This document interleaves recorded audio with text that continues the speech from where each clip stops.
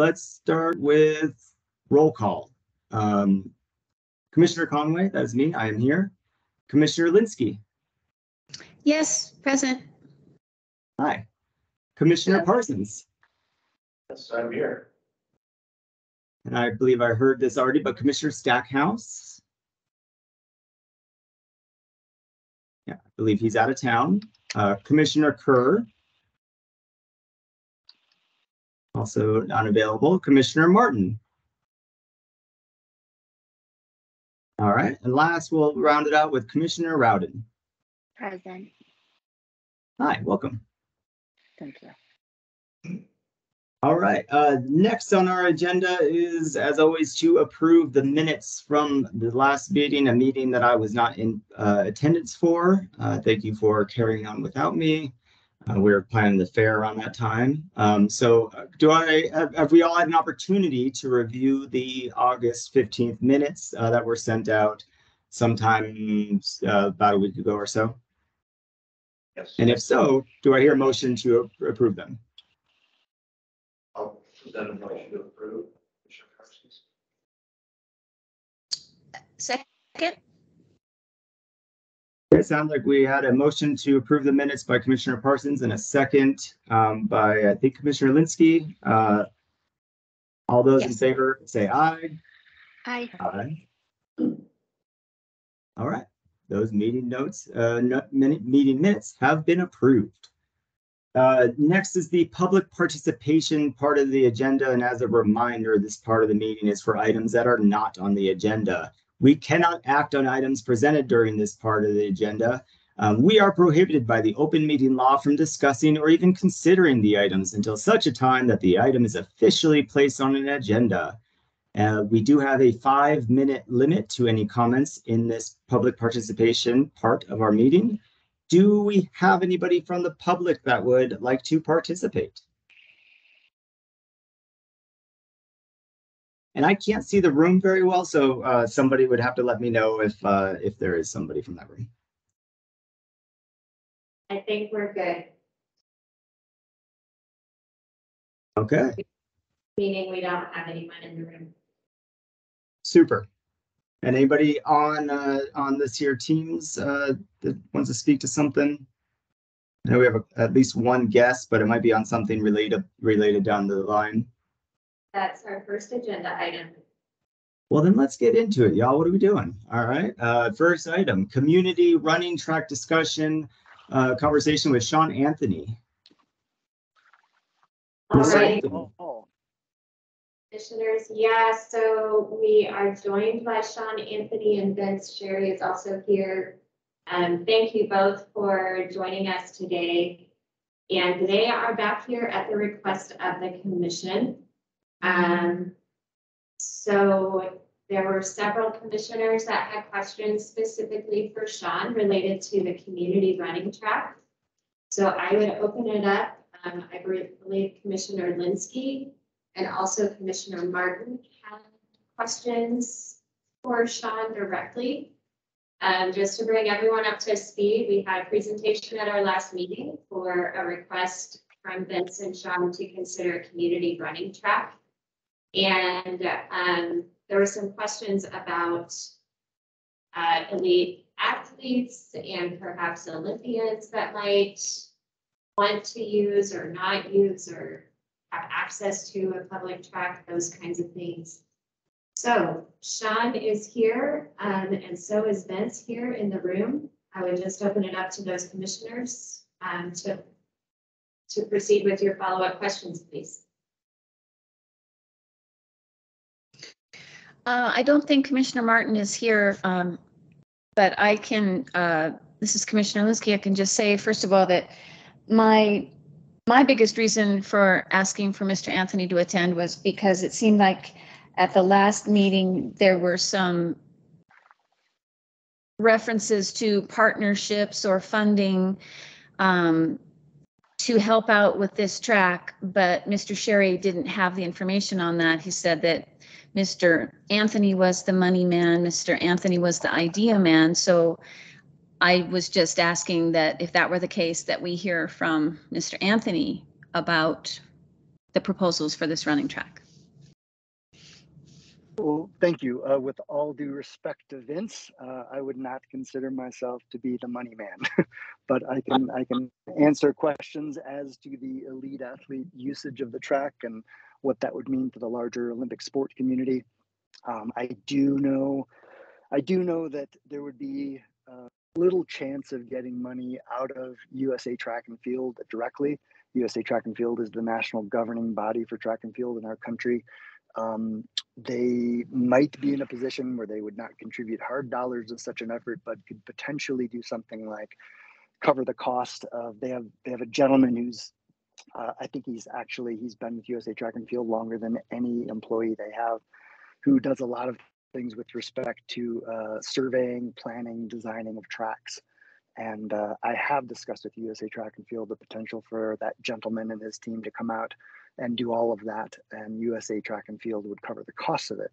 Um, but there is a distinction to be made between USA Track and Field as the national governing body for track and field and the USA Track and Field Foundation. And from what I understand, uh, there's probably a greater possibility of getting the USATF Foundation involved.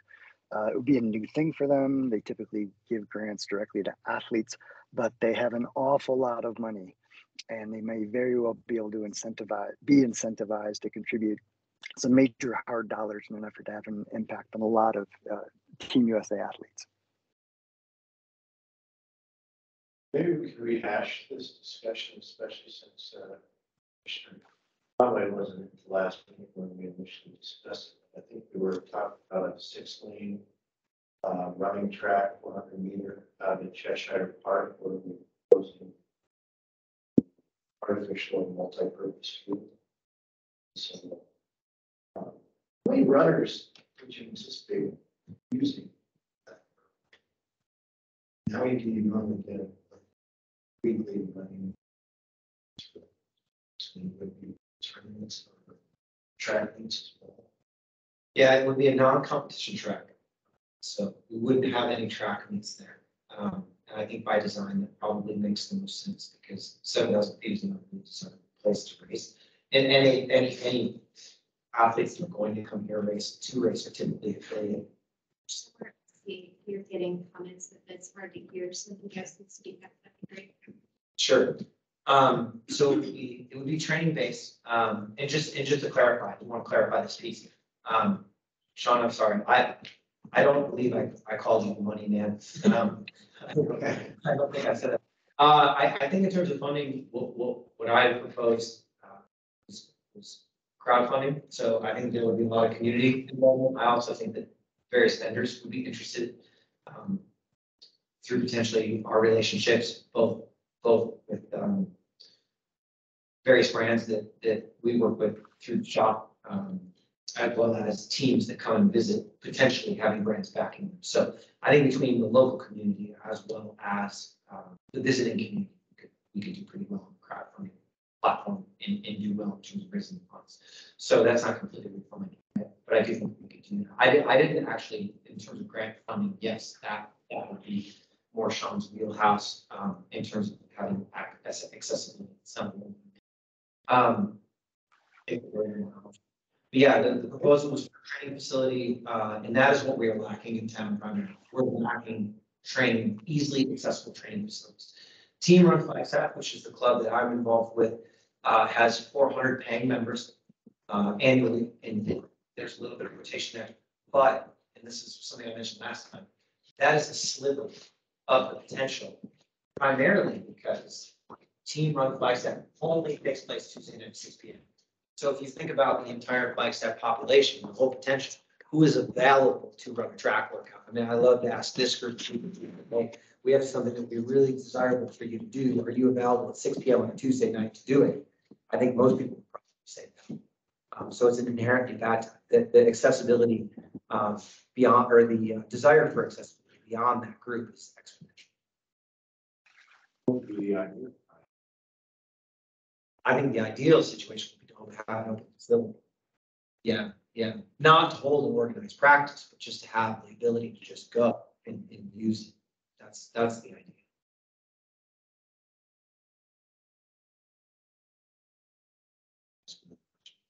What other facilities, What other facilities do we need to support that? I mean, as far as like parking or bus, uh, picking, bus operations. Those need to be incorporated in the site.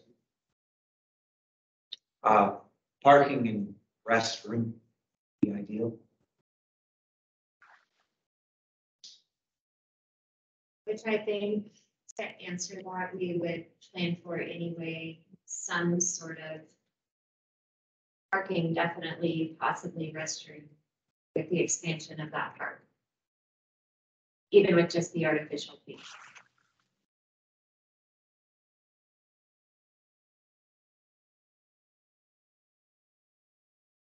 Commissioner Linsky, did that answer your questions for Sean? Uh, I'm sorry, I'm hearing about every third or fourth word, so um, it's difficult to follow along with actual answers, but um, uh, is, is Commissioner Ryan uh, with us now to uh, follow up? Maybe he can hear a little bit better? Yeah, so he's on chat only, and his question is what funding is available to help as similar to a public-private partnership? What has changed in relationship with NAU that track is having difficulty using their facility? And with issues arising years ago, why approach the city now? So I guess that's three questions. Um, and why don't we have Sean try to answer first and then Vince? And we'll start with the first question of what funding is available to help as similar to a public-private partnership? Well, as I said, um, I don't think there's any money directly out of USA Track and Field. However, I do think there are possibilities with the USA Track and Field Foundation. Vince has talked to um, uh, talked about the subject of crowdfunding, which I also believe has a lot of potential. And I don't think it's out of the realm of reasonability that many of the large, um, well funded international governing bodies that send their athletes here on a regular basis, um, and here we're talking about Norway, we're talking about Germany, we're talking about the Netherlands, Japan, um, Canada. It's it's not outside uh, that realm of reasonability to think that they may have an interest in providing some assistive funding for a track that would guarantee uh, consistently guarantee the availability for their athletes. Um, altitude training as a performance enhancement intervention is so popular now that in many sports, like running, if you're not using it in some form or fashion, you're just not competitive at the elite level. And so we've seen over the years a continual large increase year over year of elite distance runners coming here. And to get into that second question um, about why haven't we done anything about it before, I can only speak from my perspective, of course, and it's really, really a matter of we us priding ourselves on our community partnerships, in really working to leverage what we already have present that make this such a great place to train, rather than seek redundancies in existing resources. You know, our company grew out of the Center for High Altitude Training at NAU, and we've always tried to be um, respectful toward our roots and trying to maintain a close partnership with NAU. Our teams swim in the pool there, they do strength work in the gyms, they run on the track, they eat in the cafeterias, uh, they use the on campus medical clinic. And really, for us, having a centralized sport campus, if you will, really helps us to market Flagstaff as a great place to train. Unfortunately, the university over time appears to care less and less about this sort of business you know, despite it being an opportunity to forge um, ties with the most prestigious sporting event on the planet. And we have really seen access being chipped away at over the years, um, despite monumental efforts to, you know, to work with the university. We've really been unable to incentivize them to put into place a track management system that allows us to systematically and dependably book and pay for space on the track. And dependability is really the issue, and that's what's evolved over the years. There's nothing worse for an elite runner to plan a track workout and come to the facility for training only to find that's not available, or and or be in the middle of a track workout at a facility only to be kicked off by facility managers because it's dedicated for some of their usage. You know, and from our point of view, it's also not great to jump through all the hoops to officially secure and pay for space on the NAU track for a team, only to find all sorts of other groups out there during our time who haven't gone through official channels, who have not paid anything, and there's no policing going on and to manage their usage. So it's really mm-hmm. become, as the Canadians would say, a gong show out on the NAU track. It's just continued to be a situation that has deteriorated year over year. And it's unfortunate because that deterioration has taken place when we're seeing larger and larger influxes of distance athletes coming here to train. Thank you, Sean. Vince, would you like to add to that? I think we'll hold of, Jen, can. Yeah, um, in terms of accessibility, uh, it's interesting because Sean's angle is not the same as my angle. So Sean's angle is obviously working with the visiting athletes, and the elite athletes in the community and getting them access to facilities. My angle is getting your average community member access to facilities. That's what we do. Those are our customers. Those are the people we work with and we lobby for. And my experience is exactly the same. So um, indoor track access at NAU is a regular annual need for us. We, we use that facility, you know, from January to April every year. Outdoor access would be preferable there as well for consistency, for the purpose of consistency. For the indoor track, we don't have a choice, so we kind of go through it. But even getting a response uh, from the facilities manager, just a simple response, you know, we are paying for that access, we are paying for the time.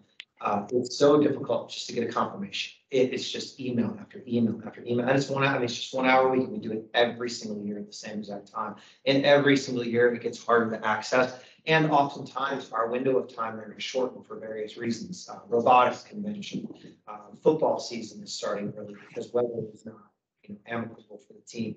Um, it, it's, it's all sorts of reasons that we're putting the turf down. It's, it's endless. Um, the outdoor facility, we've very much been met with the same sorts of things. So we fall back on FUSD.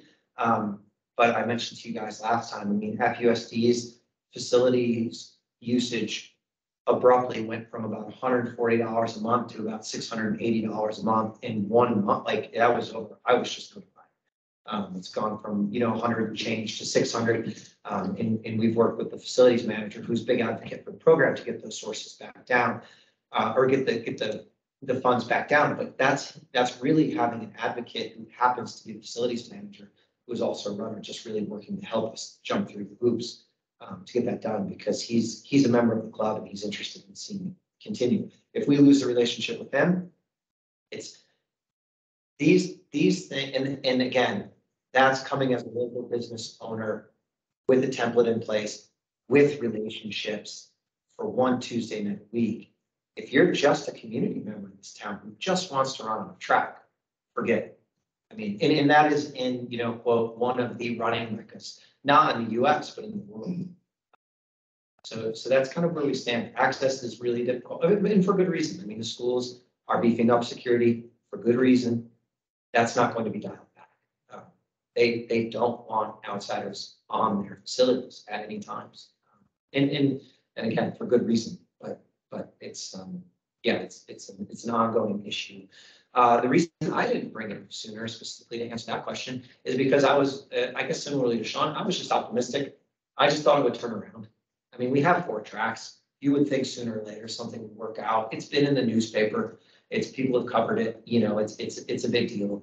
Um, and throughout the years, there have been times where we get the right person in the right place and it goes pretty good. for And then it doesn't, you know, so, um, it's, I think, I think along with what Sean said, it's just kind of easy to see at this stage that this is kind of the status quo. This is what this will be now.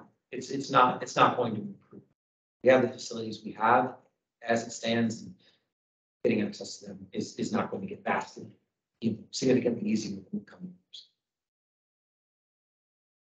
I think the only question, actually, Commissioner Martin, I think that answers your first set of questions.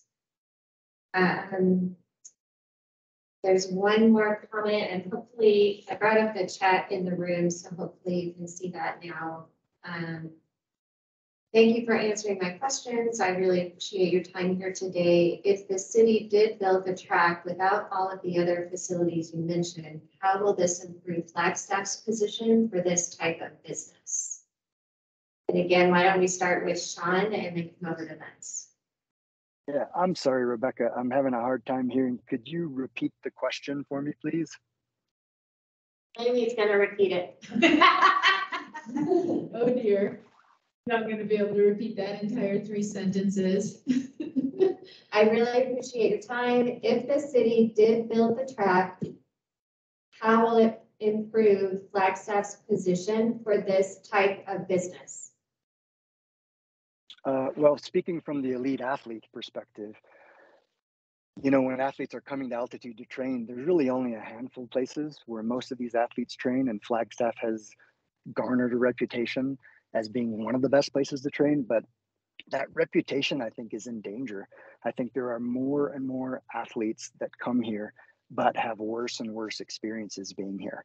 And part of it is there's a there's a sport culture that they're drawn to. You know, we provide comprehensive support services for these types of athletes here. We're at an appropriate elevation. You know, we've got pretty good infrastructure here for a lot of the things that they need to do. But I think we're in danger of kind of losing that status as one of the greatest places in the world for distance runners to train at.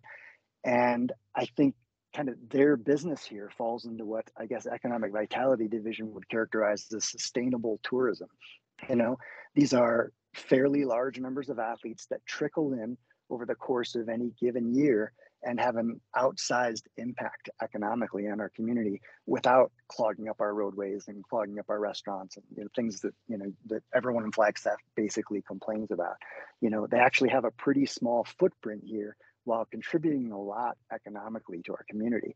You know, there are cities like San Moritz, which is another popular place for altitude training, where the city runs their facilities there and basically uses all of that elite activity, elite athlete activity to market the city to other types of user groups.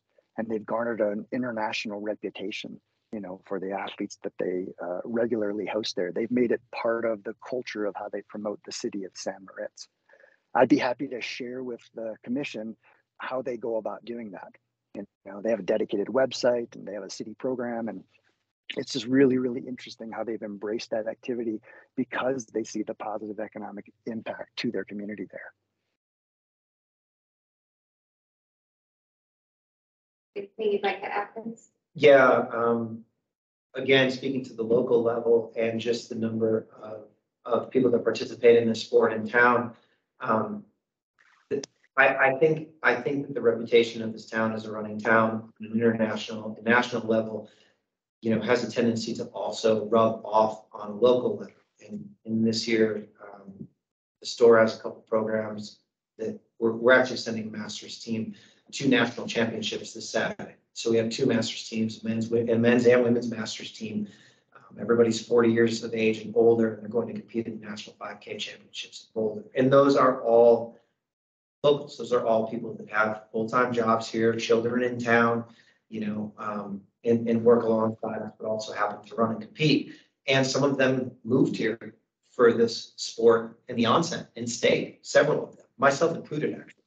Um, and it, it's kind of an interesting thing, you know, there are people that move here for this specific lifestyle and then continue to stay in town as coaches, teachers, lawyers, doctors, business owners, um, and stay here permanently because this is part of the culture. This is something that we enjoy doing, and this is a far better place to do it. In my case, you know, than was Charlotte, North Carolina, Rochester, New York, which were the two places I lived prior to now. So it's it, it seems to me that it's it's something that we are already known for. It's something that people come here for. It's interesting, you know, Sean mentioned St. Moritz. I mean, that was true when I was in college 20 some years ago. Um, we knew of that as an altitude training destination. I knew of St. Moritz before I knew of Flagstaff, which is insane. You think I, I just lived in, at that time in North Carolina. It's not nearly as far away. Um, but Flagstaff garnered that reputation because it's so naturally good for it anyway, that it didn't take an insurmountable effort to make it. It was sort of default, it's built in. Um, So I think that this would be an easy step to keep that going, to, to put a little effort into it without having, you know, to go over the top and above and beyond, we need to continue to grow. But it- it does have a vast impact even on the local residents that live here uh, day in and day out, of, of all ages, actually. Right, a couple more questions here from Commissioner Martin. Um, this is for me. Uh, do you think your department could be able to build an agreement with the local community organizations to create a public-private partnership, and is it also feasible to have one with NAU included as well? Um, I'll be honest, Commissioner Martin, we've We've reached out to NAU on several occasions and they have their priorities and we have ours. Um, there's no judgment there. It just, it is what it is. And I think our local organizations are feeling the same thing as you're hearing here. Um, and then his last question, if the relationship, but in terms of answering your question about public-private partnerships, I think that's our future in Parks and Rec. Um, I don't see us being successful getting on many ballot initiatives for large amounts of funding coming up, and I think this is gonna have to be our major plan for funding large projects is public-private partnerships moving forward. Um, your last question, Commissioner Martin. And then I think we'll probably want to wrap this up, Chair. Um, if the relationship with access with NAU is diminished, meaning the rest of the facilities access at NAU is limited, how would a track alone be enough to make this business desirable to remain and grow in Flagstaff? Sean, do you want to try that answer? Yeah, again, can, can you repeat a question for me? Um, with limited access to NAU, the rest of the facilities as well, how would a track alone be enough to make the business desirable for Flagstaff? Well, I should point out that we're, our access to NAU in other realms is not really being limited. Um, and part of that is financial. You know, we're, for example, we do a lot with international swim teams as well, national governing bodies from other countries that send their elite swim teams here. And they have a profound economic impact on the pool. I believe we're the largest single revenue source for the Wall Aquatic Center and the NAU campus. The, the, the finances involved in pool access versus the finances involved in track access are two very, very different things and the finances are just not able to be at the level that NAU feels incentivized to really do anything about track access. But I don't, our access to all those other things at NAU are not going to be diminished in the near future. It really is track access that is the issue for us. But I think it's a, it's an outsized problem in that we're in discussions with the U.S. Olympic and Paralympic Committee to restore what's called a U.S. Olympic training site designation and in particular, that designation centers around the sport of distance running. It's a designation that we carried here before at the university from 2005 to 2008 when the university got rid of the Center for High Altitude Training, and that is a very prestigious um, designation. You know, there's only there's only nine sites in the entire country that have the capability to leverage the use of the Olympic marks, the five ring symbol, um, the words Olympic and Olympiad and, and all of that that accompanies the designation. The number one thing that places our discussions in jeopardy with the U.S. Olympic and Paralympic Committee is that you know they really require structured, uh, dependable, high quality access to training venues, and this is by no means a given in our community at this point in time. It's it's become a real challenge to kind of try to go after that designation because it's uh, so prestigious and so high profile for our community. And yet, the linchpin of that is having access to a track, dependable, consistent, reasonable access to a track facility. And that's a really difficult case for us to make with the way that things are presently.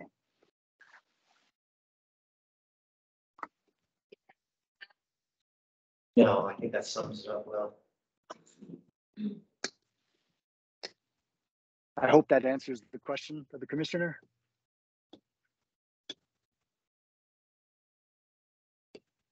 It looks like it, unless Commissioner Linsky, did you have any follow-up? No, I don't. Uh, Mr. Anthony's report was very concise. Thank you.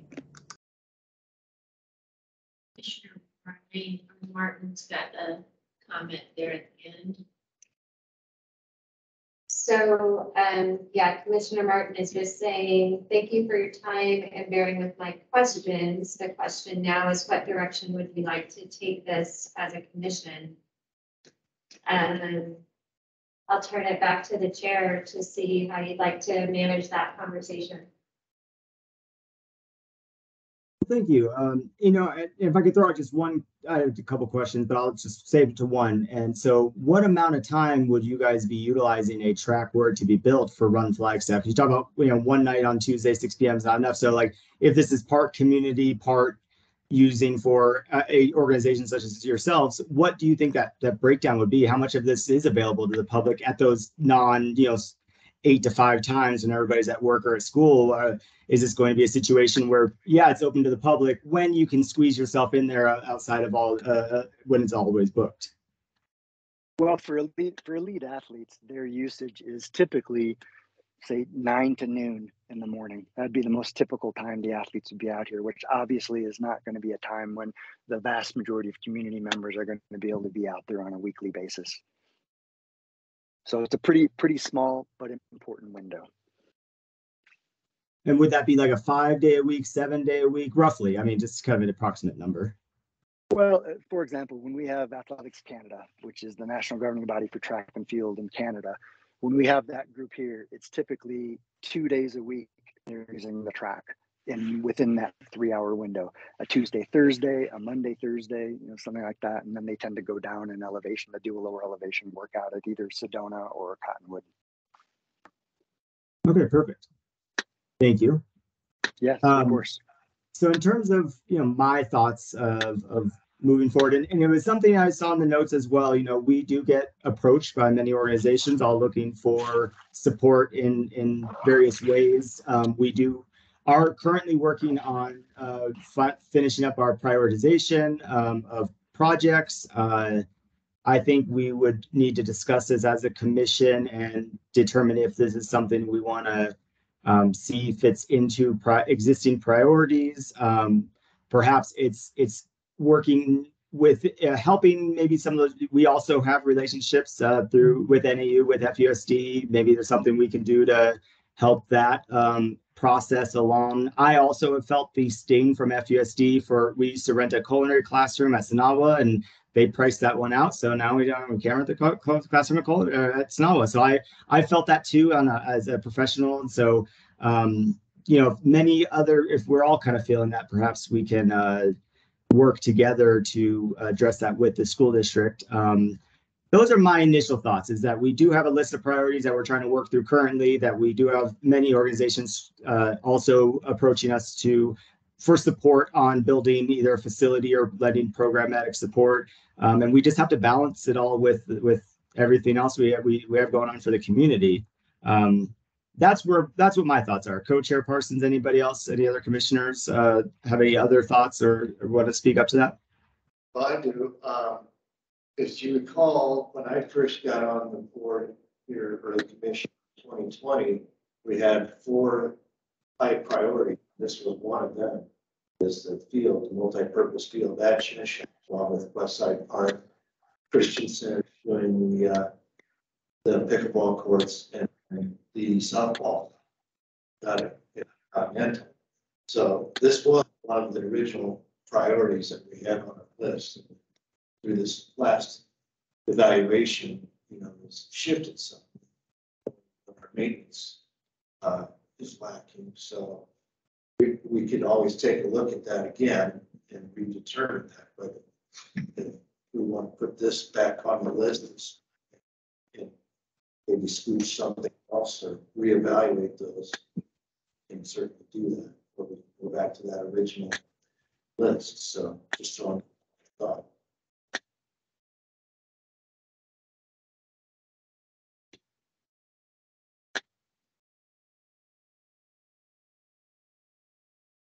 Sorry, I was just writing some notes. Thank you, Commissioner Parsons. Any other commissioners, uh, thoughts on, on how we might address this next steps? I, I think having the, that conversation, I agree. Let's look at what our, it, it does this fit within one of those other priorities and we're gonna, you know, make an impact in, in, a certain way. This could, could be something that fits nicely into that. Um, anybody, any other commissioners want to speak up to that before we move to the next, uh, subject? Um, I, I would agree um, that it would be nice if we could piggyback this onto one of the other priorities that we have.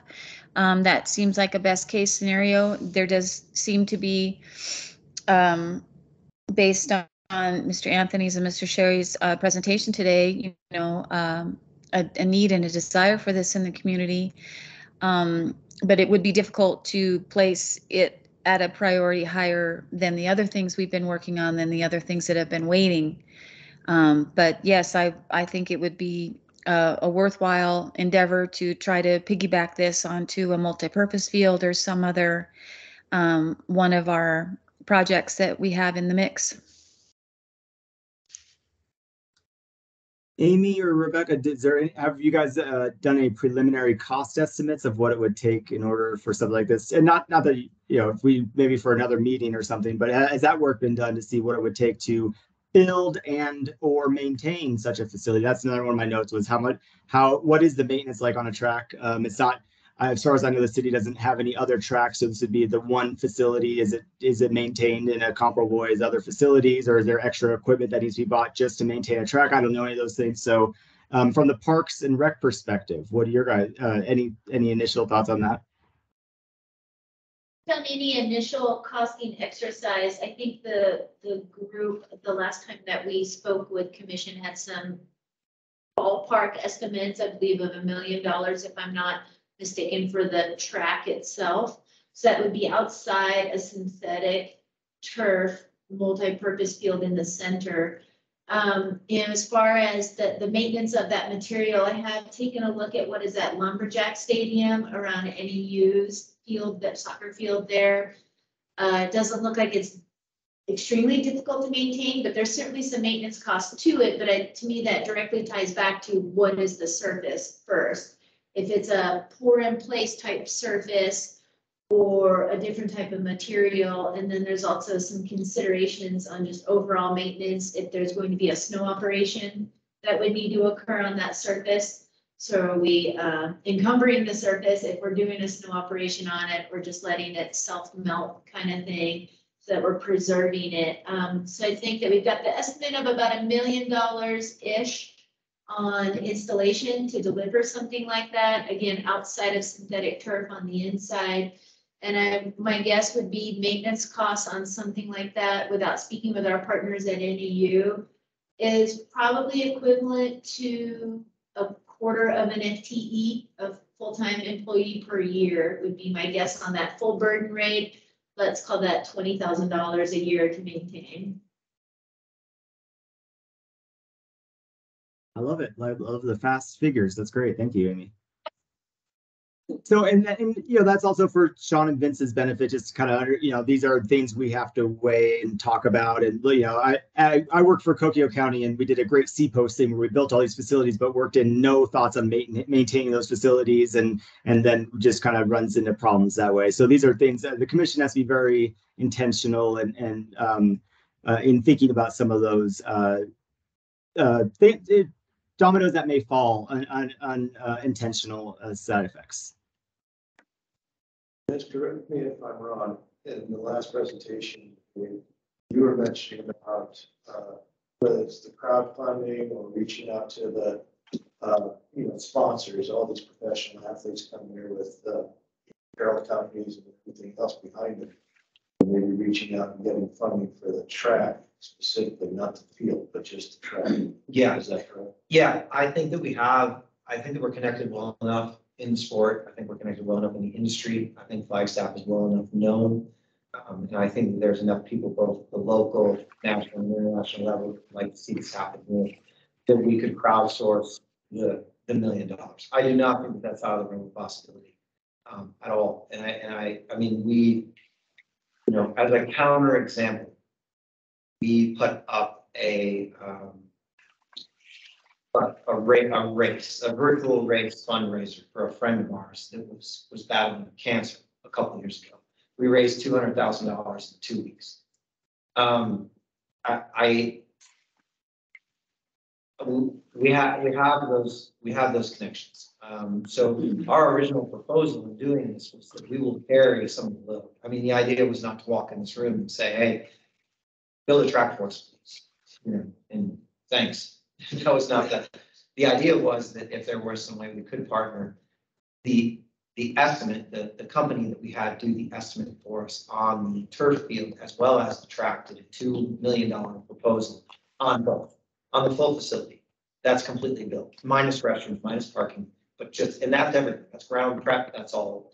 So I think the idea would be that if if you guys decided to move forward and partner with us on it, we would commit to a million, raising a million for the track portion of that two million. Um, turf fields are neat. I don't play rugby, so it's not my thing. But, you know, but I think it'd be a cool way to get, to get involved um, and get, and get. the community.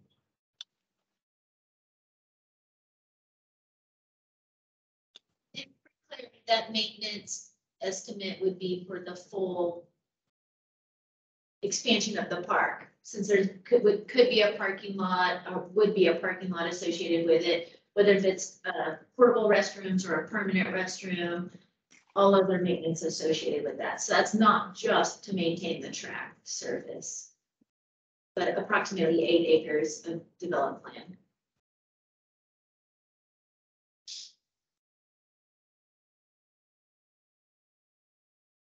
All right. Well, thank you. Uh, guys do see Commissioner Martin had a question in the comments. I'll uh, read that out loud real quick. Would your organization be willing to share with the maintenance costs of this track?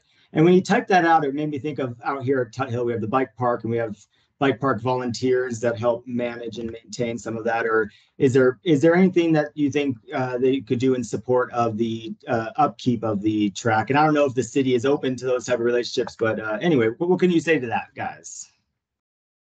Yeah, I would say some of the revenue that is realized from the hosting of um, international elite track and field athletes, you know, we could certainly discuss the possibility of apportioning some of that to go towards track maintenance. Similarly, with, with, you know, group runs like team run Flagstaff, I think, we, I mean, we're making a contribution now, right, to the university, to the schools. So similarly, I, I would imagine we would continue to pay dues. As I said earlier, some of these international uh, governing bodies for the sport may very well be fine with an additional surcharge, you know, on their training camp invoices, if you will, um, that involves, you know, money that goes directly toward the track to maintain it. I think that's very, very highly possible. Excellent. What I, I believe you've satisfied the uh, my questions and the questions of my cohorts here. Um, as mentioned, we do need to talk through this as a commission um, and just see how this, if this can fit into an existing project priority, and and if so, where and how. And so, um, I believe the next steps for us will be done in, at the potentially at the next uh, meeting, so we can move uh, on to other other subjects for this meeting. Um, is there, are there any other thoughts before we move on? And I just want to thank Vince and, and Sean for your time today and answering our questions and, and coming to the meeting, uh, the one I missed and uh, initially with the proposal. So thank you for your, all of your time and energy on this. Um, anything else from you guys to us? Uh, just thank you for your consideration. And uh, if there's anything that I can do to uh, move the effort forward, if there are follow up questions, just have Rebecca reach out to me and I'll do my best to answer them. Yeah, I would echo that. Thanks a lot for, for having us and hearing us out. Really appreciate it. Thank you both for for today. Thank you all. Really appreciate it. Thank you guys so much. Uh, you're welcome to stick around if you'd like. Uh, we're going to move on to the Thorpe Park Annex update. All right, I will kick this off. Um, we have an introduction, uh, with one of our partners on this, so uh, if, all the commissioners recall Thorpe Park Annex has been great, at this point, greater than a year-long, uh, process where we've done a full public participation, including many different forms of outreach to the public, and it, um, has been an amazing process to go through. So I want to introduce our, our, our partner on this, Southwest Decision Resources. We've had both Andy Rogers and Carrie Everly here with that group. They'll kick things off. Before though they kick things off, I want everyone to remember that what we're gonna go through today, tonight is pretty much the process that this team has gone through over the greater than the last twelve months. Some of the considerations, a lot of the outreach, a lot of the focus groups, a lot of the feedback we received from the community. I think the biggest thing to remember is what will be displayed here this evening to all of you, as well as next week to our city council, is a concept design.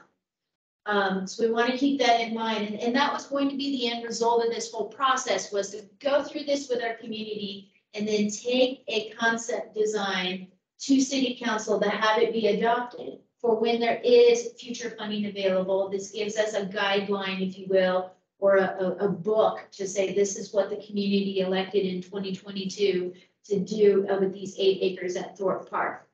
So please keep that in mind as you're listening to everything from, um, Southwest Decision Resources. Take it away, Ms. Rackers. It is a mouthful, isn't it? It's, It's not, marketing it.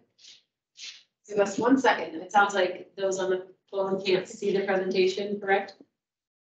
Oh, because it's got the If you look at my screen, the same. editing view. Oh, right.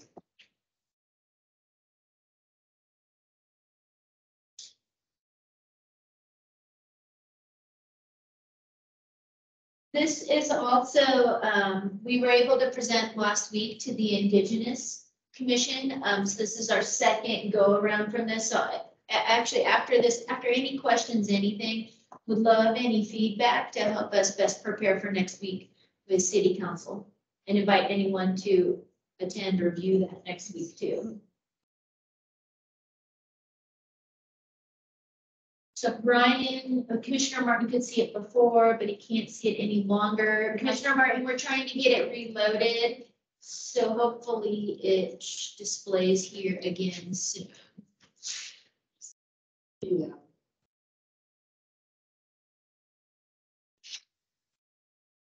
Yeah, I can see it on the screen, but it looks like it's not the like the play version. It's like it's the one you can edit and modify, but I do see a presentation on the screen. Yeah,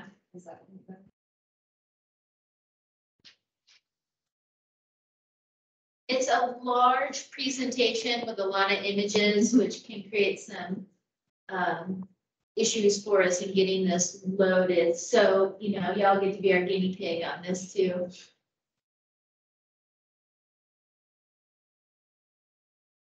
Think we have it. How is that now from all, huh, interesting, it's still showing the slides out to the left.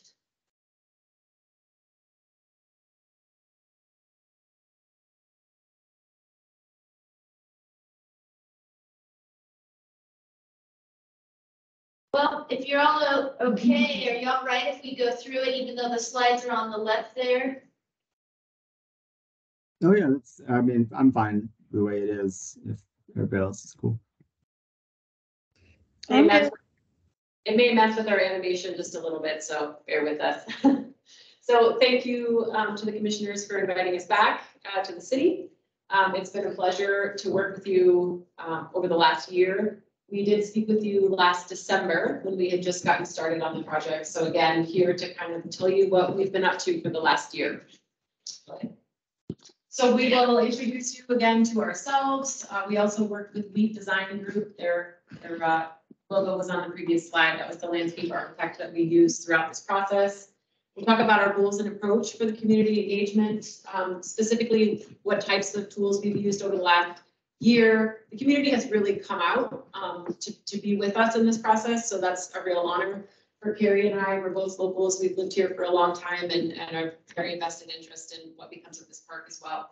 And then here we are. We're here at some concepts, as Amy mentioned. So, you know, we understand that beyond concept, there are a lot of more specific decisions. But um, we're here today to tell you how we got there and then present two final draft final concepts. That's what we're calling them. So we are uh, SDR, Southwest Decision Resources. We're a team of facilitators, and then WHEAT um, in the on the top row there is contracted. We're contracted by the city to work on this project. We've also had the pleasure of working with wonderful city staff along the way, Amy, Rebecca, Rose, and Mark. And we work in Flagstaff, Tucson, the Southwest, and beyond. Our company is based uh, primarily out of Tucson with offices in Flagstaff and Phoenix.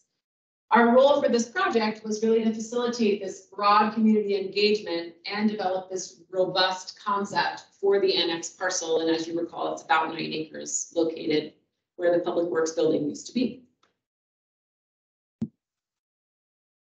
We're hoping, or we're not hoping, it's going to city council in a couple of weeks. So here we are, um, we're presenting that.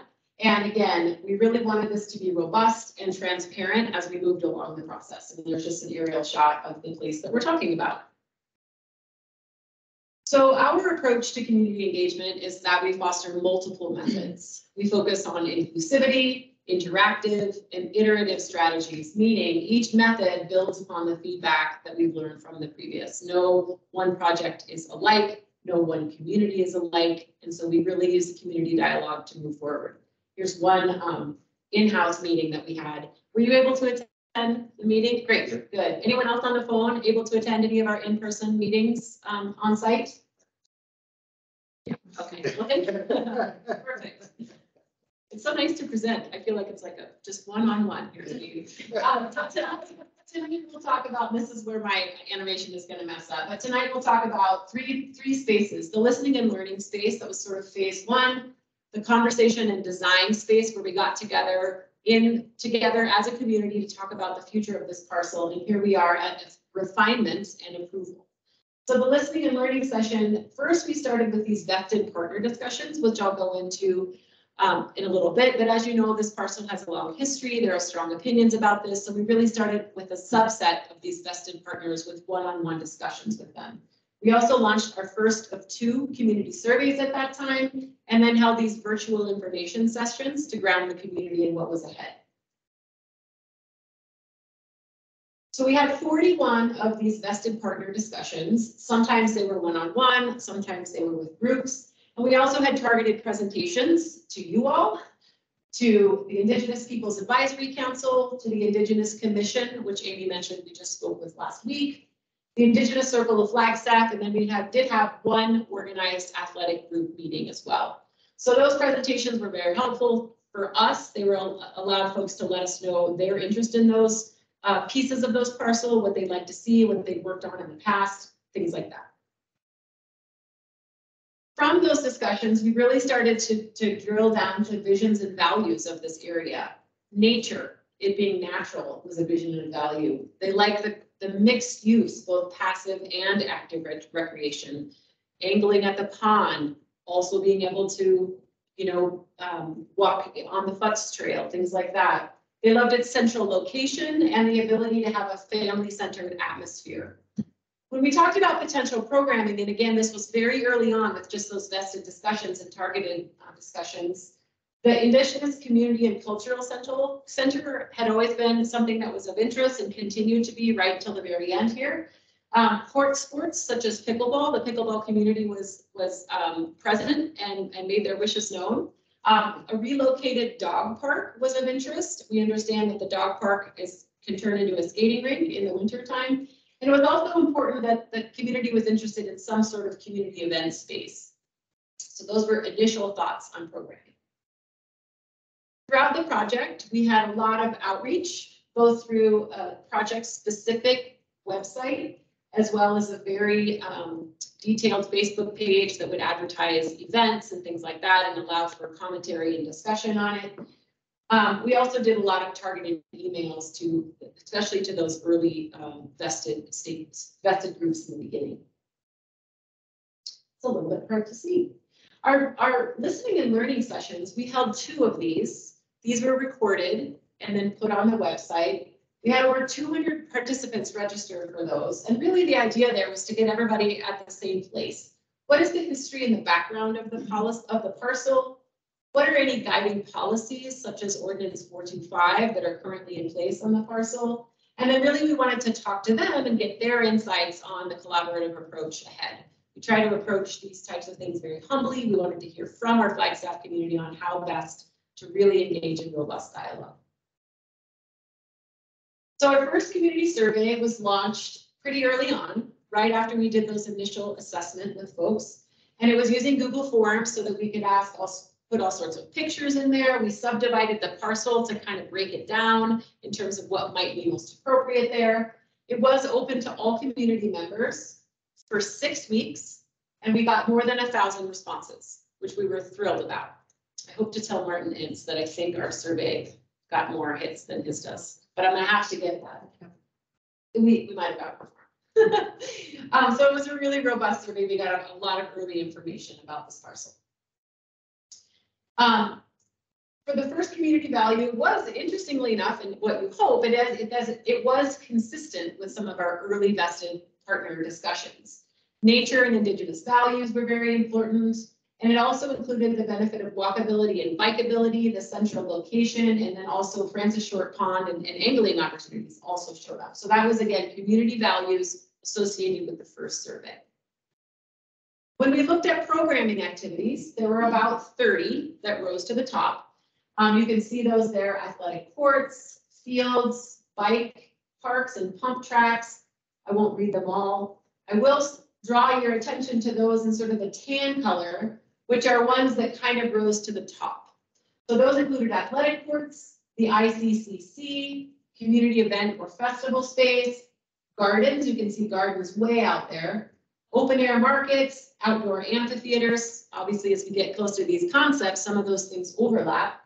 Performing arts, space, and outdoor pavilions. And then another thing I want to draw your attention to is housing. There it is. Can see housing here, and I want to bring this up because housing is not currently um, highlighted from our early discussion, but I will say it's always been a very active area of discussion. It became much more active as we moved through the process, and so while it didn't make our first cut, it continued to be something that people were very interested in in some camps and very not interested in other camps. So again, one of those issues that we knew early on might be contentious, strong opinions in both directions. I'm going to pause there and switch over to my colleague Gary. Great. Good evening. Thank you, Andy. I'm Carrie Everly, also with Southwest Decision Resources. So picking up where Andy um, left off, that really encompassed all the things that were, and all the activities within the listening and learning phase of this effort. From that, we developed um, kind of this conversations and design portion of, of um, community engagement. In doing so, um, we designed two, or we came up with two design sessions. The first one, um, so both of them on site, the first one really getting to know this parcel for those who maybe hadn't been on there since it was a public works yard, um, some activities associated with that, and then um, a second design session that again built on the first. We are gonna need to pause for a moment because we just lost Commissioner Conway, which means we don't have quorum. And hopefully he's just transitioning. There he is. All right, you can begin again. We have a quorum again. Okay. So, um, so this, these activities here, we'll go into further detail, but are really talking about this conversations and design portion um, of this effort. So to give you a little bit of detail about the two design sessions, the first one was really to get to know the parcel, to take the information that was garnered from the first community survey and have people walk and place things on um, in different areas with it across the parcel, as well as um, participate in a build a park activity. So really striving to take those elements that were highlighted in the first survey and be able to have people place those on um, a big table to see, can we have it all? Or do we need to, um, you know, give and take a little more? That session then, um, segued into our design session where, um, we came up with three distinct designs from all of the first effort. Um, and then we had people, um, give us feedback on those. So here you can see some pictures, um, on the top. This was that effort of having people visit different stations throughout the parcel and, um, and look at kind of the matrices of experiences. Did they want a more, um, you know, established structured recreation experience? Did they want something more nature and passive type recreation experience? And we asked people to do that across the different portions of the site. Um, we also had them view a presentation where we, um, gave a review of the survey results that you all just saw that Andy mentioned. And then we got to, um, have a build a park, and that's that lower picture where you can see a bike park, you can see tennis courts, different configurations of pickleball courts, amphitheaters, all to scale. So those were all built to scale based on the table size photos of the park itself.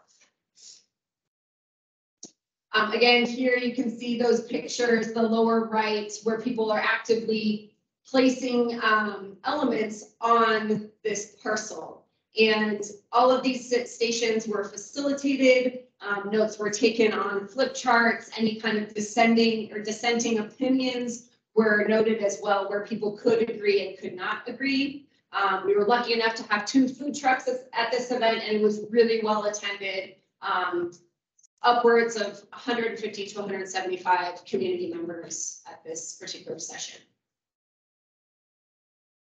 So taking all of that data that we gathered, all these pictures of build-a-parks, this matrices of experiences, um, we were so lucky to have Week Design Group help us come up with three distinct concepts. And each of the concepts had common elements, of which Andy mentioned earlier, this Indigenous Community Cultural Center. Um, all of the, the concepts you will see have that. They have garden and orchard space, community, event and performing art space, as well as um, space for open air markets.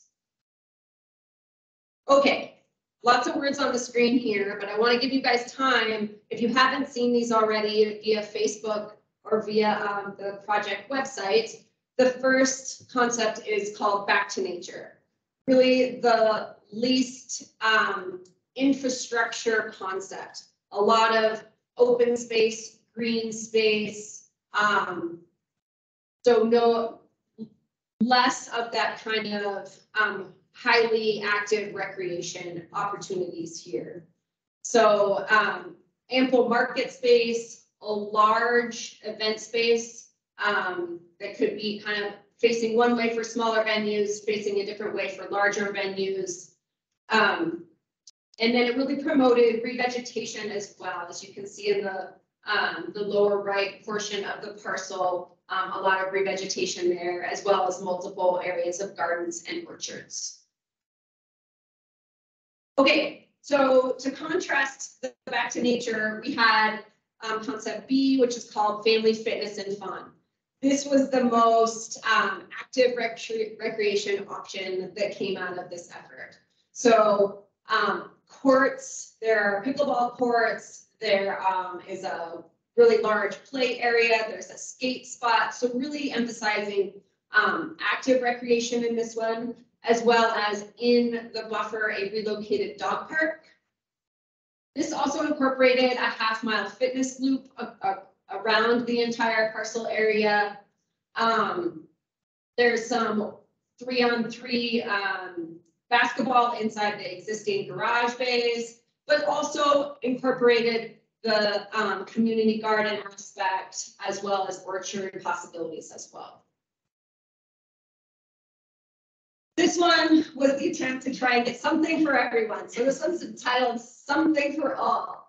Um, this was the best um, way to try to incorporate the active and passive recreation opportunities. So pickleball courts, but only four instead of the six previous. Um, an addition, like the um, amphitheater space, so performing arts space, play area, um, a skate park, community gardens as well, pollinator garden along a path, um, some market space surrounding the, um, Indigenous Community and Cultural Center. And then this one also in that, um, lower right portion of the parcel incorporated seven units of employee housing. Um, and that being a two-story maximum height. All right, so lots to digest there. Hopefully this isn't the first time you've all seen those concepts. Um, so then the second portion of this conversations and design phase was a second design session where we asked the community to come back again to to the site to review those three concepts we just reviewed, to look at them, to rate each one from, I absolutely love this, to, oh my gosh, I could never live with this, or I can't imagine this. Um, and then to give us a little bit of feedback, what is it that you like about it, or what would you change? So for the in-person portion, you can see that the tables were paired with a concept, like the actual diagram, some information like you saw on the right-hand side of those um, that kind of gave a broader explanation. And then everyone was given a data sheet, and these data sheets are basically kind of a Likert scale of one to five, can't imagine, absolutely love it. And then we asked people to provide open-ended feedback in addition. So paired with this in-person design, we recognize that to be as inclusive as possible, we, like Andy said, we have to have multiple methods, right? So we had an in-person option with people looking at things, talking with their neighbors, writing things down, but some people couldn't make it on a Saturday to this event. So we offered through the community forum on the City of Flagstaff website, um, a survey that was the exact replica of the data sheet that we gave people on site. So again, it was open to all community members. It was open for five weeks and we got six hundred and thirty-one responses. So again, more data, data on data on data, and that helps really get to this refinement and approval portion of these, um, of this effort. So this includes data refinement and coding, um, commission presentations and city council review, releasing this to the public. Maybe some of you have seen this on Facebook, the many different areas in which it's been shared. Um, and basically it came down to two very, very, very similar concepts with one minor change. And ideally this will, one of these will move forward um, as the approved concept. So um, getting all of this data into a final concept. Um, the final concept is a combination of those three initial concepts, A, B, and C. But really, we were really lucky to have a colleague of ours, Jessica, who is a PhD student and has a lot of proficiency with coding. She coded 1,435 comments in a way that could help hone into what are those essential elements that have to be in the concept based on levels of support and feedback from the community. So elements that are common to both concept one and one B are community garden space, ethnobotanical garden and orchard. This is primarily surrounding the ICCC. Event space, a fitness loop, as I mentioned, the ICCC and adjacent ceremonial space, market space, pickleball courts, a play area, and a skate park pump track. This one be from. All right, so because the animation It's messy. doesn't work because of the presentation mode, all of these key elements are, they can't see, it. they can only see the shared screen. You can point. you can- Oh, I'll do that. Sorry, Steve. I just stand up there. So, um, so the existing fleet building, um, is the element that is the Indigenous Community Cultural Center. Um, and just to the east of that traditional ceremonial space. Moving to the south is the ethnobotanical gardens and orchards, um, kind of rehabilitating what is exact, is the parking lot currently. Um, and then below that to the south is fifty-five parking stalls, recognizing if, if we're, um, if you build it and they come, they have to have a place to park. Um, to the left of that is the play area And next to that is the skate park and pump track integrated. Space for a community garden and adjacent to the sustainability center, um, and the offices of sustainability. The garage bay would stay and have indoor basketball courts. Um, to the north of that is, um, the pickleball area with additional twenty-two parking stalls. And, um, so six courts there, kind of separated with some vegetation. And then to the left in the buffer is the relocated, um, Thorpe Park Park. Oh, sorry. And at your twelve o'clock, um, is an indoor outdoor flex event space. Um, there's a lot of support for having event space and many, many folks, um, contributed feedback that having an indoor and an outdoor, um, option would be beneficial. So this is concept one. Concept one B is the exact same with the exception of those fifty-five parking stalls in the southeast corner would become city employee housing and twenty-three parking stalls. Um, so all other elements are exactly the same with the exception of housing and a reduction in the parking stalls. We go back and forth So it's for those that are not. after those awful circles. So all of that to say that, um, that's how we got here. A lot of iterations, um, a lot of interactive options, um, is what we like to, to really focus on. And, um, hopefully that was clear and we are completely open for questions. Well, and also mention that we um posted this to the community in several different ways. Um, and tar- some targeted emails out to some of those vested partners as well as an update to the website and um. The Facebook page. There is some good dialogue happening there. There's a lot of questions. Hopefully those folks will come to the city council meeting or find ways to get their um questions answered. Um, at this time, we'd love to, to address any questions about the process, where we've arrived, and then send it back to you, um, Chair, for, uh, for what you'd like to do from here. The Indigenous Commission did take a vote. I understand it kind of depends on where you want to take it. Um, so there's, there's that. We'll present this again in the work session on the twenty-fifth. Yes. And this is the identical presentation that will be given there. So this goes to council on. Yes, next week. Yeah. So I'll just say what we do need from the commission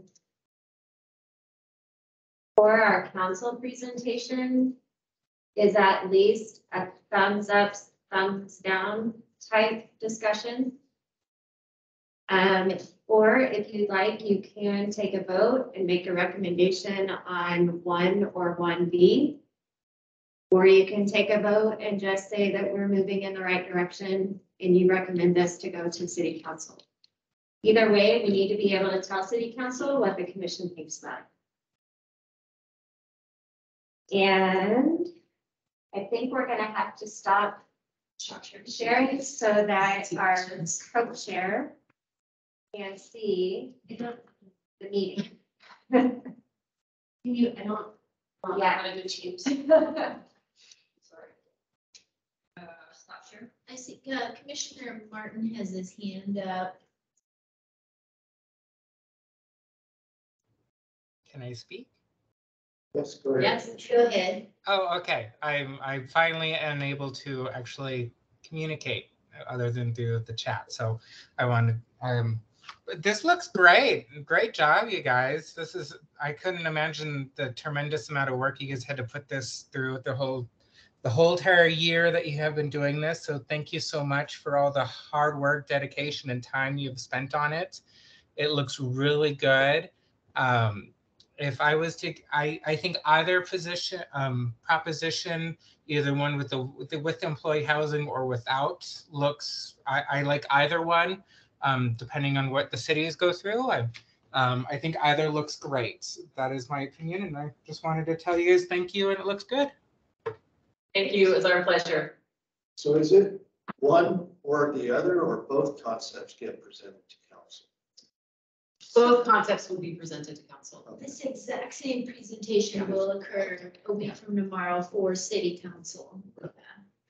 The main, I'll, I'll add that explanation on the housing because we had mixed results and no clear community direction on housing. And knowing that there are many things that would need to take place if council would like to see housing after this process. We felt that that was a policy decision that we needed to present to council. Um, and let them tell us which way they'd like us to Yeah, go. because it seemed like the community in general had kind of mixed feelings about, uh, so that's what I got in that, uh, that session, so. See where that goes. I like both concepts. I can get support. I know pickleball is always gonna push back. You don't, you don't have enough courts. Um, I'm not even sure that's where the bulk of the pickleball should go anyhow. So that being said, the other thing that I think worth considering know, is- and what council may bring is we do move the dog park. What are we doing with those leftover areas now that become available for some other than use? Is there a use that's currently shown as part of this uh, thing that maybe moves over to where the the dog park was and repurposed? Maybe, I think that's an excellent point to bring up. Um, and, and I think if asked that by anyone on city council, we know that we always are in need of parking at Thorpe Park. Being a two hundred nineteen acre regional park, we always need parking. Right. Even for daily use, for the own athletics that the city of Flagstaff, um, programs, for tournaments, you name it. So I can, and, and knowing that that dog park, lovely as it is, it's constructed on top of a drainage Yeah. easement and basically a drainage facility. So it's not, I don't know if there is a, a strong use other than parking spaces. Right. Just to be frank on that, uh, and knowing that we do have that need, it's not a need that's discussed frequently at this commission about parking, parking, parking, but we do have a need there in this, this is our, it's our largest regional park. Uh, so I could see that being a good use, and so that's not taking a use away from what's on this concept, final draft design over to, um, there, it's, it's, but it is fulfilling a need in the entire park. And just so you know, I'm a landscape architect. Yeah. So that's why I come at this. Yeah, You're right. And my next one. So Amy. I would has- anticipate that question, that Yeah. that is at least what I'm counting on having to answer one Yeah. that night. We have a couple hands raised here. Uh, Commissioner Martin, you had your hand raised? Uh, I'll be, I'll speak quick because I've only spoken once. Um, I just wanted to uh, express my appreciation for um, just giving us the two designs, especially for city council. Um, I, I know that the city housing, we haven't heard of anything deci- decisive on yes for it or not for it. Um, I, I don't want to express my opinion here. I don't, I don't think that's my position for this, uh, for this commission to do that for this, but I wanted to express my appreciation and taking the time, doing the effort, and make including that anyways. I, I think that's important, and I I agree with you with with the idea of proposing both of them. Um, thank you. Great, thank you, Commissioner Martin. Uh, Commissioner Linsky, you have your hand raised as well. Yes, hello, thank you. Um, I also want to thank you for putting together that presentation and for allowing us to walk through all the steps with you again. It has been a long time since we did that, so it was nice to refresh and have the opportunity to think back on how it started and and what the process was, and to see the photos of the people actually um, placing, you know, tennis courts and pickleball courts and dog parks and just letting them visualize that I think was um, a, just a brilliant idea, and also probably um, very very helpful and and led to some really great decision making because people had that opportunity to see it in real time, and I um, I really appreciate that. I'm very impressed with um, both designs. I don't have an opinion on the housing, and so I don't have anything to say there.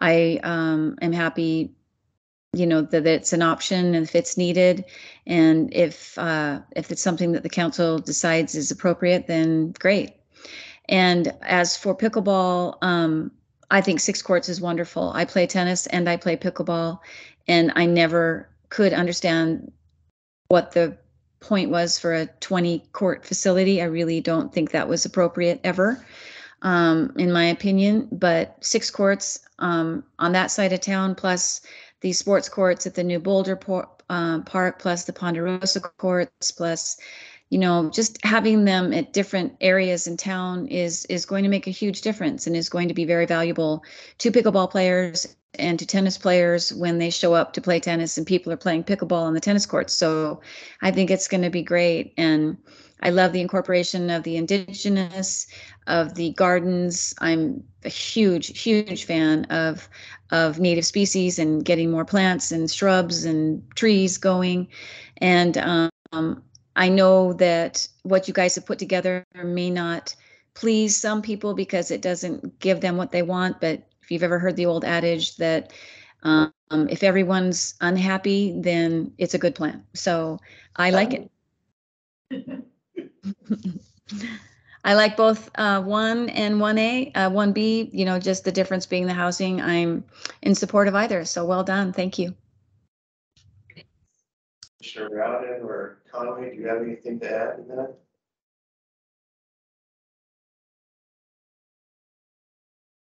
Hi, yes, uh, I'm in a position where I can talk now. Hello, everybody.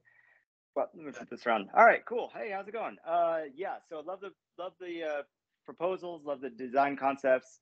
Um, I feel like I would rather see additional parking and maybe not have the uh, city of Flagstaff housing, but I am I love both concepts and think that if council wants to make that decision, that's uh, perfect for them to do so. So if we as a commission, it sounds like we all like both concepts and would would be in favor of that. So in terms of our position to council, I think that that's what that is, is that we uh, all we like both concepts and uh, kind of defer to council on the importance of that housing. Um, my opinion though is um, like like Amy was saying about the existing door Park is parking is always an issue. Um, why sacrifice a bunch of parking? Um, but uh, I don't know the need for community or for city housing. So that's my two cents. Uh, great work as always. Love the behind the scenes and seeing all the, the pictures and and what got us to that process. I think council is going to very much appreciate that background and all that information. Um, and so great work, and I appreciate all the effort. Also, uh, shout out to Beck for providing ninety-five percent of those photos for our presentation. So thank you. Thanks, Beck. And we have not heard from Commissioner Rowden. Would you like to chime in?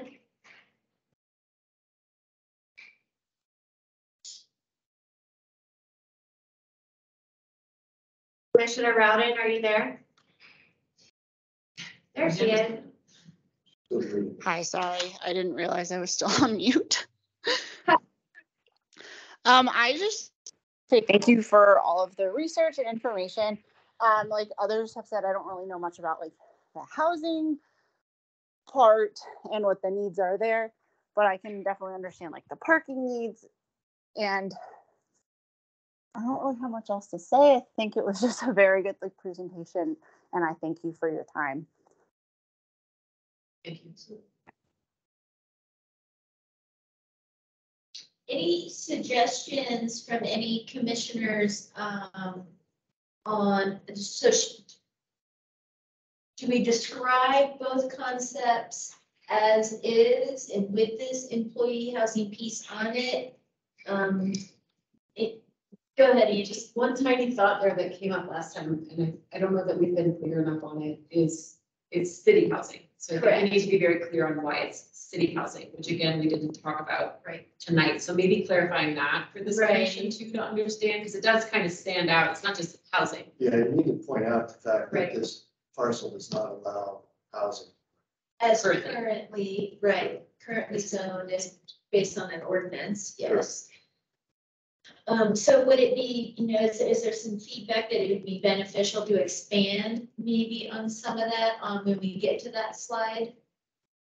Yeah, I think so. I mean, you always need to touch, if you're gonna present that, I think you should put in there, you know, the fact that whatever that shortage of employee housing, the fact that You know, there, there's a reason you're proposing. So Right. what is that? Which, and there was some, uh, obviously, some of the reason that it's even being proposed is from some of the feedback in the outreach facilitation process that, uh, that we went through. Um, there is zero city housing in the city at all. Right, so, I mean, I certainly think we could, we could talk about that and just expand a little. Or we could turn it back to you to close out, to really kind of give some of this nuancey Right. stuff, since you opened it too, I think there's. a good I open for think we go there. I don't want to pin it on, We're not experts on right. city ordinances. I would just, I, I think since you're giving the bulk of the presentation, certainly we can answer questions, but I think that SDR can certainly explain the current zoning allows for this type of housing, and because our public comments were not conclusive about Yes. yes or no, we wanted to put that for council, and staff is here to answer questions. Um, and we do Chair Conway, we've got several hands, so I'll let you get back to leading the meeting if you'd like. Oh golly, I'm on my phone and I never do this on my phone. Let me see. Order. So Commissioner Rowden, uh, you're up first for comment, please.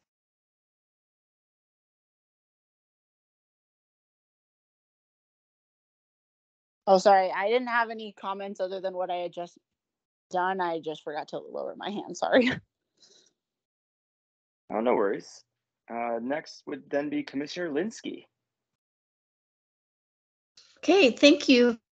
Um, one thing I had a question about, well, I have a one question and one comment. First of all, on the designs, a question I have is, I can't see it anymore, but there uh were some little orange dots around everything. Is that a path around the entire, for people to walk? That is, that Right, is there- a path?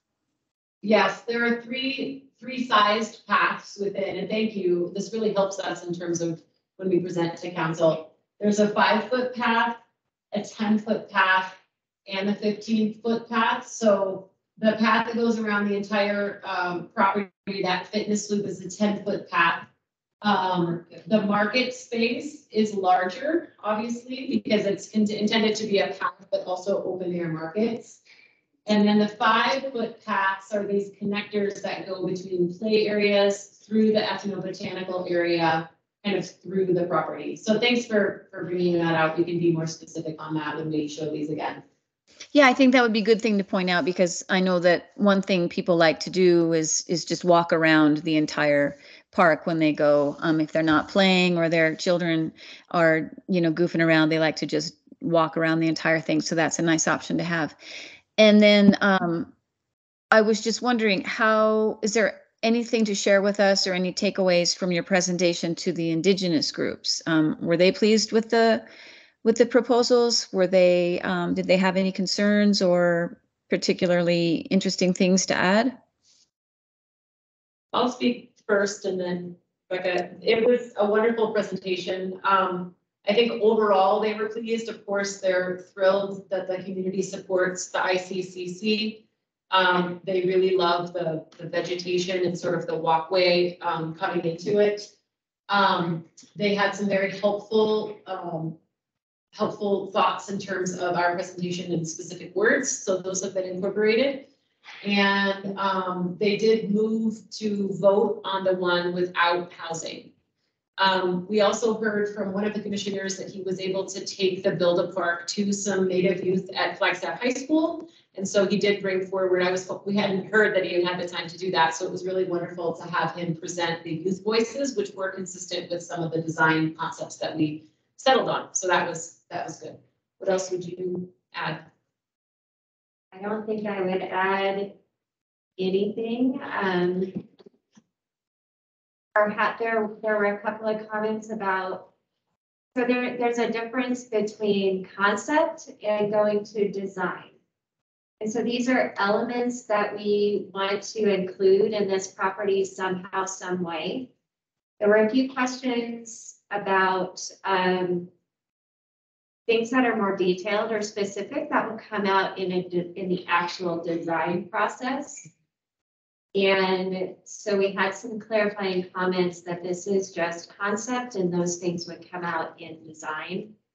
There were some comments about in design, making sure that we are being very careful to think about compatibility of the different elements on the site and how they interact or don't with each other. For example, pickleball, noise, and perhaps an indigenous ceremony going on in the performing arts space.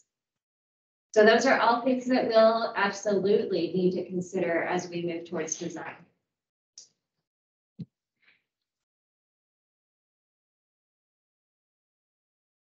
All right, um, gonna go with Commissioner Martin and then we'll go, we'll circle back to uh, Linsky. Well, it sounds like maybe there will be some diversity and inclusion um, with that type of design if both is occurring at the same time. Maybe some just understanding and just respecting of each other's doing their own business. Um, I, I, I was actually thinking you were going with a different direction about maybe city employee housing and noise over the park in general in that area, no matter if what type of event or the event that is going on or activity, if there was employee housing being there, but um, let alone if there'd be enough parking for even for employee housing. But um, I think originally my original um, thought was was that city council I think is very well knowledgeable about the city's housing needs and what type of, especially with the- election coming up, I think they're very well aware of what the current housing stock is and what they currently have. So I think just reminding them of the ordinance that is placed on, that's why it's specifically employee housing and how it came to that conclusion would be probably the only thing that is necessary. Um, if that makes you a little bit more comfortable presenting it that way, is that they are very well aware of what the um, housing needs are um, maybe they just need to be reminded that according to the ordinance for this property, it can only be this type of housing and um, they can do with that with what they wish. Um, I think, otherwise, I think you guys did a great job. Thank you. So if I could respond to that, Commissioner Martin, I want us to be very clear about existing ordinance. Ordinance four two five, which Andy mentioned, only allows for park, museum, or recreational experiences and programming. So ordinance four two five would have to be changed if the council wants to go towards the housing options. So those are the next steps that we would need to go into if council chooses that option. I think exactly stating that and making that clear would be helpful. Um, I'm sure if they decided to change it from employee housing or other housing or housing in general, I think they would be more inclined and easily able to change that ordinance if they would like. It's um, right? I don't think it would be a big deal at all. But But I think, It- It will be, Commissioner Martin, and that's exactly why we felt it was a staff decision. Um, in addition, the reason that it's focused on city employee housing is that's based on the zoning of the existing property. So it's a zoned public facility. The only kind of housing that that zoning allows for is city employee housing. Um, well, maybe stating maybe the zoning, that is what the zoning is um, allowing for, and maybe they will, they will have the understanding of how you came to that conclusion. Um, and just maybe stating that. I, I don't think the ordinance wouldn't be a big deal to change, to modify um, just a little bit for, if they did decide to put that into the final design. Um, well, I guess we'll find out. But I think that's all that needs to be said is, you know, the zoning, this is the requirements of the zoning. This is how we came to that conclusion. And I think that that's all you would need to put on that concept. Thank you.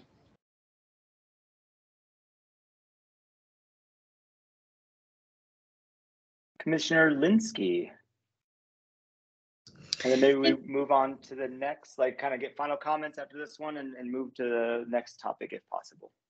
Sure. Thank you. Real quick, Rebecca, I just wanted to, uh, you addressed the noise about, uh, the Indigenous, um, meeting, how pickleball impacts that and how they impact pickleball. And I just wanted to, uh, let you know in case you may have already done research on this or, um, looked into it, but down at Forest Highlands, um, the pickleball courts were quite a problem for the housing closest to the tennis courts and the pickleball courts.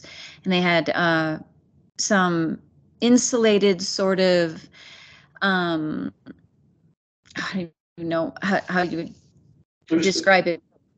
There you go. Uh, some panels put up on the fence um, for the pickleball court that sort of absorbs some of the sound for the homeowners that were closest to the pickleball court. So um, something like that is definitely a possibility if the the dinking of the ball and the paddles becomes too much for events taking place at the same time. Yeah, thank you, Commissioner, and that's exactly the type of detail that we would need to consider during design. Because those acoustic panels um, also need to take into consideration elevation of the courts in relation to the housing and everything else around it. So yeah, thanks for letting us know that Forest Highlands has done that though. I'd love to go down there and check them out. Put it around new ones. Shortly too. Sounds like a field trip.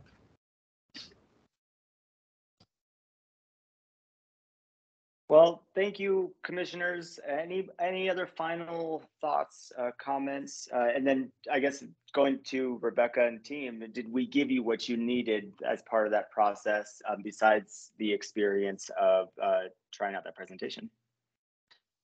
Yeah, I think we had clear direction from the four of you, which is majority, and thank you, each of those of you that we called on directly, because I needed to hear from four of you. To know that we have a, um, consensus from, so the way that we'll state is we have consensus from this commission that um, you're in approval of both of the concepts, um, but are not ready to make a recommendation on housing. I believe that to be an accurate representation of the conversation that I heard as well.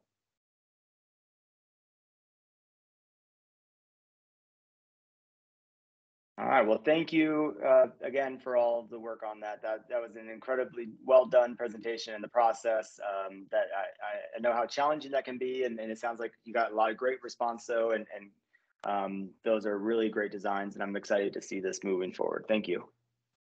Thank you. Thank you all. Thank you, Andy. Thank you. Thank you guys so much. Our pleasure. In the interest of time, can I should we do number should we do letter D first just to see and, and might be able to figure that out real quick? As it's 543 we might be able to get through all of item C but I just want to make sure we talked about item D before we get all um, crazy. I do have I have another meeting that begins right at six that I have to go to. So actually Commissioner um, or Chair I would recommend that we skip C and take that up at our next meeting, and that can be our main focus in November. I love it. Um, should we also add on for November a discussion on the track, uh, running track? I think they're re related in some way. They they certainly are. Yeah, you bet. Excellent. Then I agree with that. Let's go ahead and postpone item C, the priorities um, for the November meeting, which, as it happens, we got to make sure we are on the right schedule for. So, as the agenda notes, it is currently scheduled for the week of Thanksgiving, um, which can be challenging for people uh, to, to be able to make that. So, um, I don't remember what we did last year. If we just went for a December meeting, are we going to run into the same issue around Christmas time? Uh, I haven't looked that far ahead. So, uh, Rebecca, staff, what, what are you guys thinking? Yeah, it's typically, so Thanksgiving's a little bit early this year. So we typically don't have this problem with this commission. We always have this problem with Open Spaces Commission, which meets on the fourth Monday. Um, so yeah, my recommendation would be to, if, if the commission thinks that meeting on the twenty-first will be a problem, I'd recommend the fourteenth. Um, and then in December, I'm looking, our December meeting is scheduled for the nineteenth, which is a full week before Christmas holiday. But I understand a lot, guessing that kids are out of school by then, if that's an issue. Well, and I'll say for myself, I would be unavailable on November 14th. I'll be at a conference uh, that day. So if, if we had to move the November one, I would be, I'm available on the 21st. I don't think I have anything uh, that would impact my, my availability on that day. Um, any other commissioners with a conflict or want to discuss that, that November 21st? Commissioner Parsons said that he's good with the twenty-first. I do I'm want to take up. Oh, Sorry. sorry, Commissioner Rowden, go ahead. Oh, I was just gonna say I'm good with the twenty-first.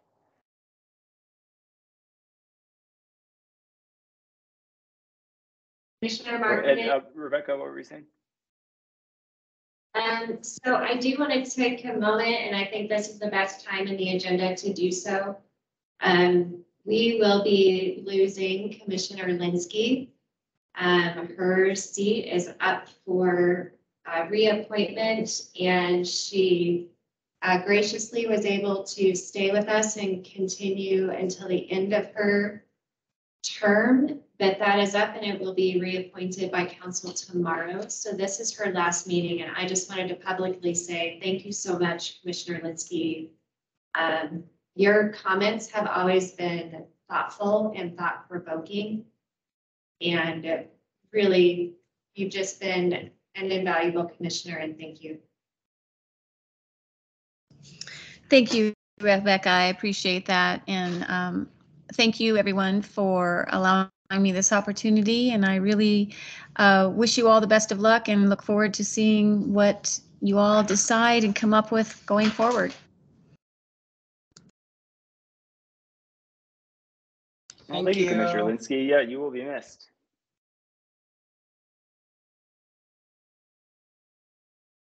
So I think we just haven't heard from Commissioner Martin about the November date. Sorry, I wasn't, I was trying not to interrupt anybody, but thank you, Commissioner Linsky. Um, best luck in whatever you're, you're, you're going to be doing in the future. Thank you so much for dedicating so much time towards this. Um, I'm fine with the 21st. I, I will probably be similar to today.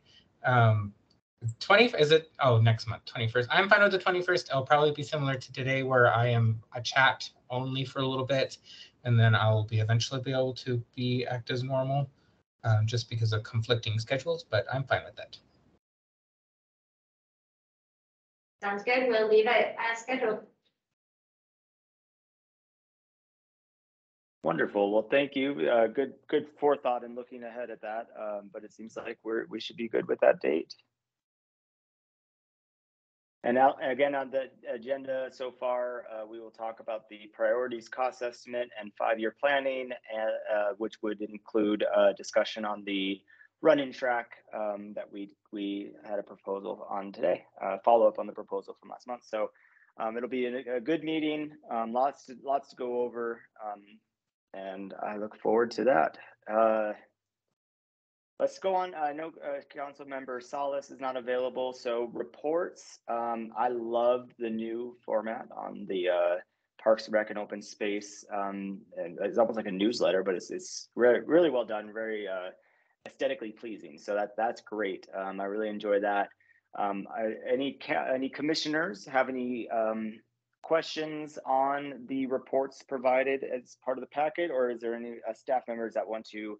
Highlight anything. And I do see Commissioner Martin has his hand up. Go ahead, Commissioner Martin. I'm just going to be quick. I think it looks great and a lot more fun, and I think I think it looks good. So whoever's doing it, thank you so much for the time, and I, I like it. Thank you. So I'll just give some background. Um, we, for our city leadership, we have been doing for years a weekly report And many of our other divisions in the city just do a monthly report. So our vision was to create a, an engaging monthly report similar to a newsletter, as mentioned. And we want that to double as our report to this commission.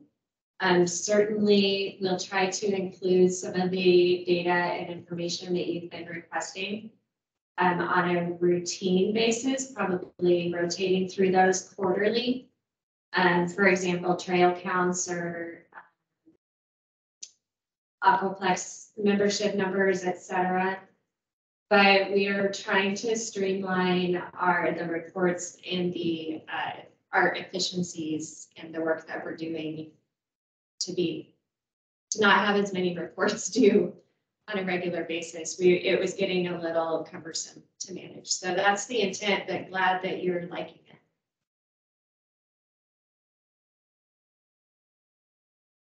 Yeah, I, I think the format is great and the content as always uh, outstanding. Just yeah, all around all around nicely done, and very happy to see about the membership uh, uh, drive in uh, August, and yeah, just great great work. Uh, any other commissioners with any questions or anything from those uh, those reports that we want to pull out and discuss briefly?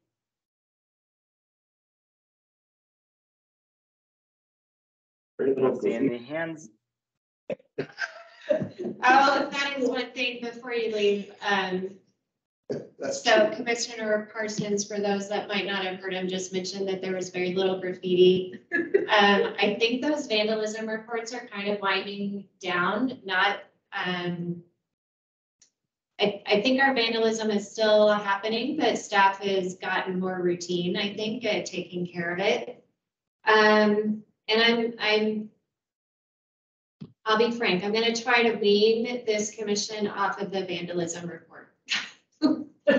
I don't know that it, um, it, it's something that we deal with just like anything else though, that we don't tell you about broken trees or broken benches or broken playground structures or, you know, it was a very specific focus. Um, certainly important for us to track and we can provide that information if there's something substantial that we really need to know about.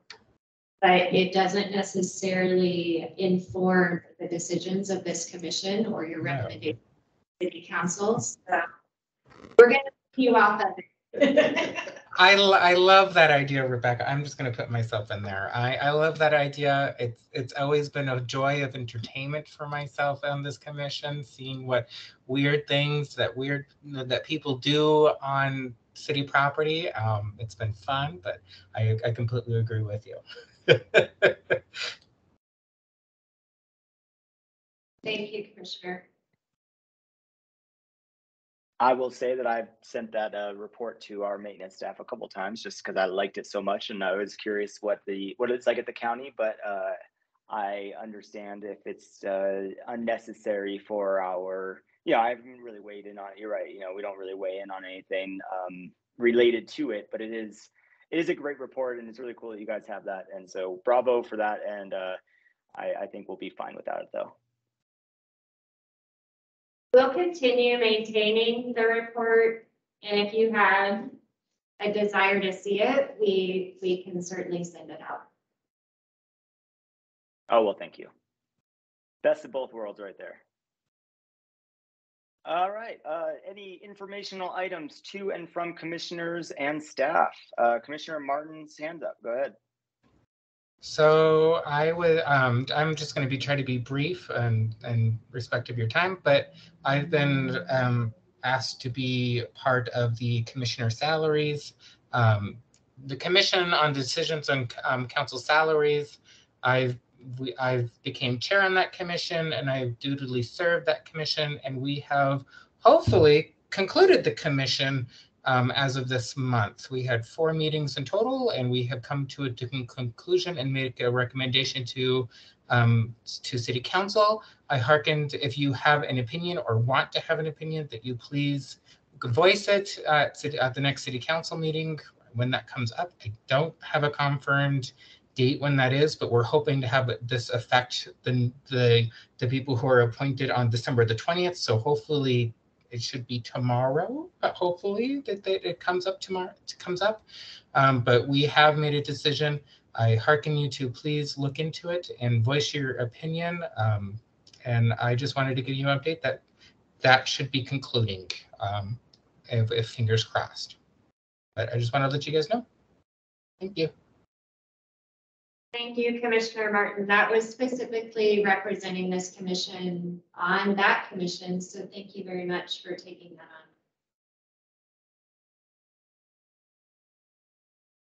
Yes, thank you, Commissioner Martin, um, and, and for chairing that committee and, and, uh, reporting back to us and, uh, really glad to hear that, you know, the work was hopefully successful and completed. Anything else, uh, before we adjourn this here, uh, Parks and Rec Commission meeting? I, I have a question, maybe it was at the last meeting, but I saw there was a job posted, uh, potentially recreation manager. Uh, did you guys fill that position? Oh my goodness, I totally forgot. Cause it's been a minute. Um, so we did post a new position for Assistant Parks and Recreation Directors. So that's a little bit different than our uh, Recreation Manager or Parks Manager positions. It would oversee both of those directly. And um, in terms of reporting structure, reports to me, this new assistant. And Amy Hagan applied for and uh, overwhelmingly um, was the consensus and has accepted that position. So she is now promoted to Assistant Parks and Recreation Director. Congratulations, Amy. That is really exciting. Uh, love when we can uh, move people up internally, and uh, just I, you've been just such a, a standout employee and, and coworker, and so glad to, to hear that. So congratulations to you, and congratulations to the whole Parks and Rec department. You guys got a good one there. So nicely done, and I'm happy to hear that. Um, Commissioner Martin has his hand up too. Congratulations. Well deserved and well earned. You should be very proud of yourself.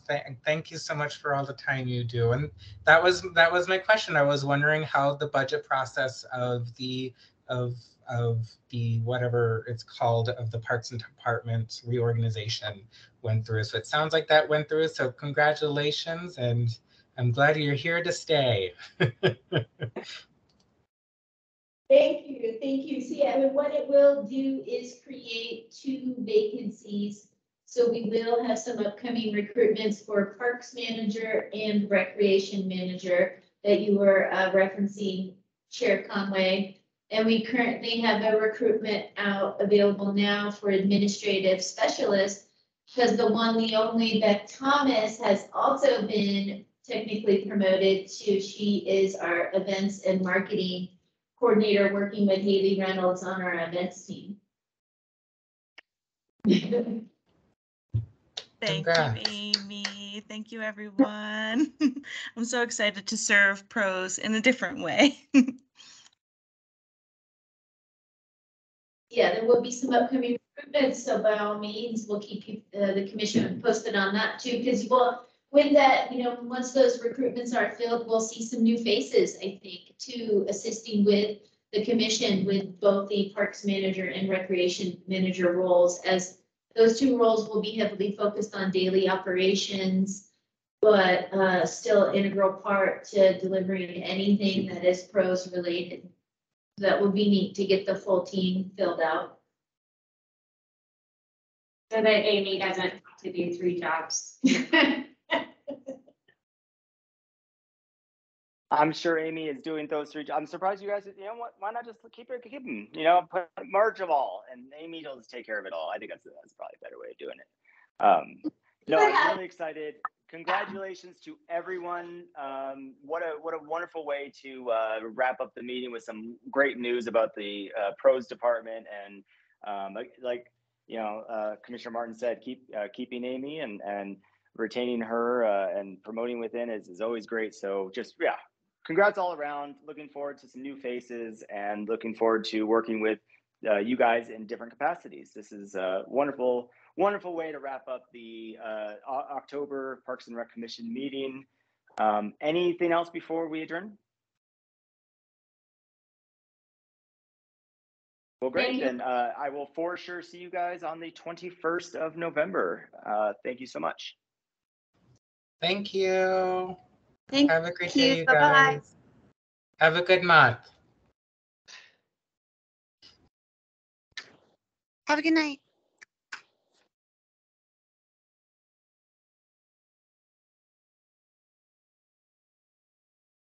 Recording there. Um, Okay.